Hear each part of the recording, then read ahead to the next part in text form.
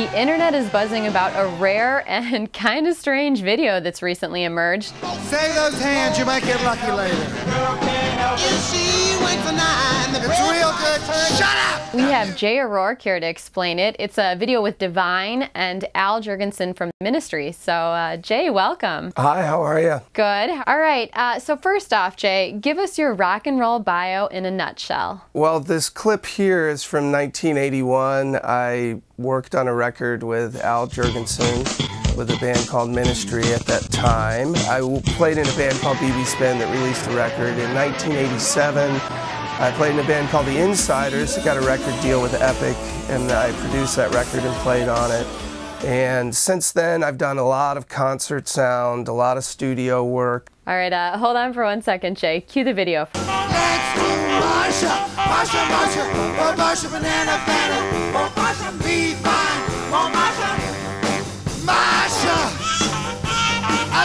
trick with Dick.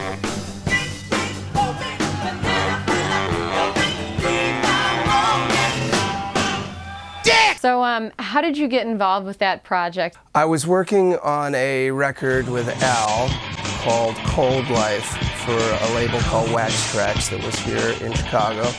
And they put out a single with Divine called uh, I Was Born to Be Cheap. Cheap, Born to Be Cheap, written by Tom Eyen and Henry Krieger. And they called Al and wanted him to assemble a band, so he called me, called a bass player named Marty Sorenson, and a drummer named Steve O'George.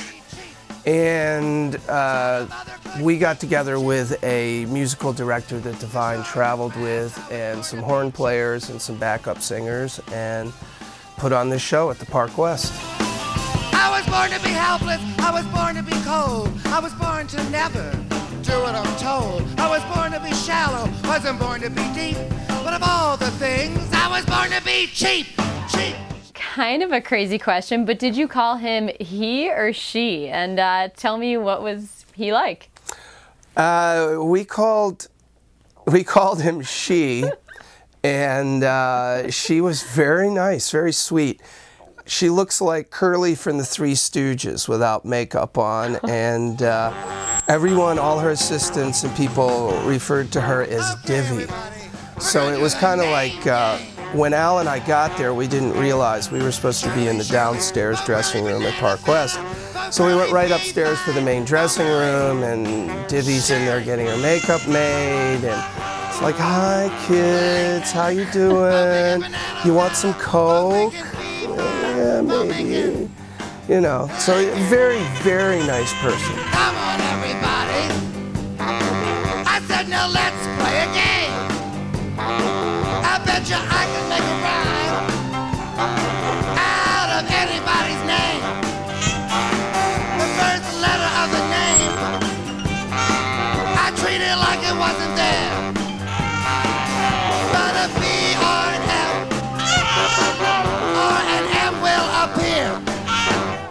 So, uh, you played the song The Name Game, right? Yes, we did. All right, tell me a little bit about that. Well, that was an old uh, sort of novelty song for kids where you would take a name and you would rhyme, you know, Annabana, Bobana, whatever. And the gag was kind of leading up to where Divine could, you know, say some racy stuff, you know, you know, dick, dick, big dick, you know, on and on and on, stuff like that. So I think that that was the flip side to the uh, I Was Born to Be Cheap single that was released. Now Jimmy with a B. And a fan of phone. Now you say the name again with an F, very plain. A fee, find the mo. Then you say the name again with an M this time. And there isn't any name that I can't rhyme. And uh, that's you and Al on the right there. You guys are wearing headbands. Well, I'm wearing a headband. That was at Al's suggestion. It was the 80s. He wanted me to wear makeup, and I, I wouldn't do it, so I, I went with the headband. So let's talk about Al Jourgensen. Um, what's he like? Uh, Al and I were we were friends back then, and we worked together. He was very bright, very talented guy. I found him very easy to work with. we were doing midnight sessions out at a studio called Hedden West, which was in Schaumburg at the time. Yeah. So we would drive out there at midnight and work till about six in the morning. Um, I've always kind of thought one of the reasons I got to produce the record was because I owned a car and had a driver's license.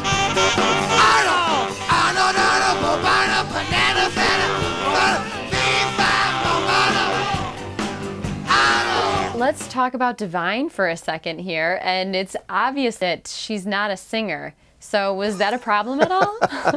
yeah, actually, it was a problem uh, with the name game because you know he was she was running around taking people's names and then just coming right in with no sense of time or anything like that. So I don't think anybody really expected any more than what we did. But I mean, honestly, the music is kind of terrible. I think.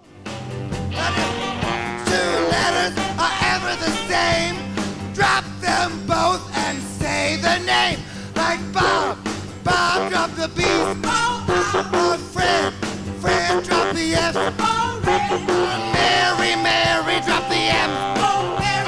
That's the only rule that is contrary. I have to ask you this question. Is that Daryl from Hall & Oates on the bass? no, that's Marty Sorenson. He oh. played in a band called Special Affect with Al and a drummer named Harry Rushakoff who went on to be in Concrete Blonde.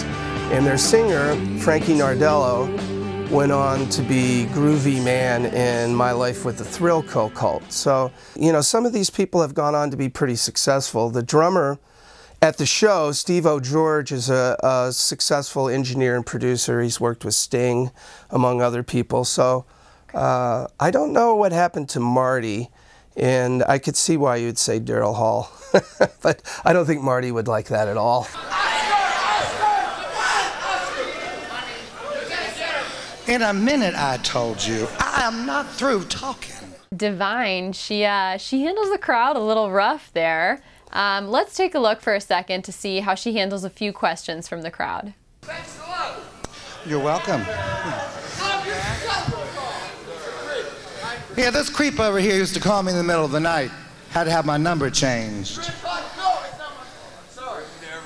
It's not his fault that he's creep. Will somebody shove a foot down his throat? He's got one everywhere else. Keep it up, keep it up, and you'll never get it up again.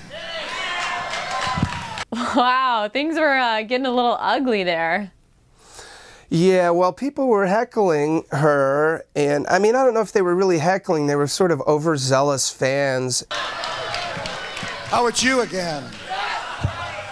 They're over there, the Looney Tunes, honey. You know, people were obnoxious. It was Halloween, uh, you know, 1981, lots of drugs, you know, in the venue and people. So people were, and I think that they waited till around midnight to start the show on purpose. So on uh, on that note, real quick, can you tell me a little bit what this scene was like backstage and uh, Maybe a little details on the crowd. Was it a predominantly gay crowd? It was a predominantly gay crowd. Uh, the scene backstage was pretty typical for backstage, except, you know, lots of makeup and the costumes, you know, were being protected and whatnot.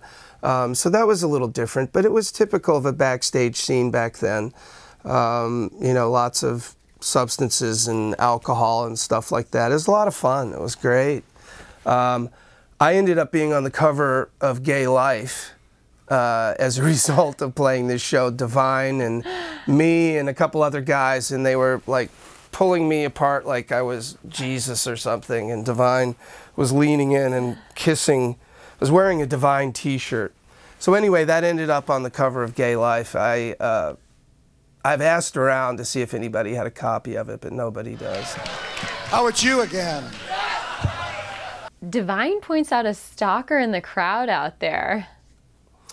Yeah, that seems to be continually going on. Um, you know, at the time I didn't notice it that much, but you could see it in the clips. Yeah, I don't know what the deal is with that, but the uh, the guy was pestering her pretty good. Did you get your gift? No! Now shut up! You'll not get anything from me except my foot in your fucking mouth she's a little she's a little rude to her singers there too at times. Is everybody out here? Where are those three whores? Yeah, yeah, yeah. A lot of shut up and stuff like that. Lots of. Uh, I think it's part of the shtick, though. Really. Jay, what was your overall impression of that night? Well, it was. Uh, that was the first time that I played at the Park West, I think, which I think is one of the best venues in America, and I've toured and played a lot of them. I like that place very much. Uh, it was. It was just great. I mean, it was just so much fun and so wild. Uh, you know, I would do that every night. Playing, I like to play the name. Yeah. Okay, now I'm gonna do my favorite name. Okay, girls, the name is Bobuck, banana, fana, Bobak, beef, and Bobak. Chuck, yeah, suck Chuck, fuck Chuck, up Chuck, eat Chuck, yeah, suck my ass, eat my dick, yeah, yeah, shoot a load on me, baby, yeah, yeah, shoot it. Hi, Peter Hamilton, Director of Network Standards and Practices, and I'm afraid I can't allow this to continue. What the fuck? What happened to the pretty girl? Well, my staff and I have been watching these, these so called clips, as you call them, and, uh, well, we've decided that it's filth. So what?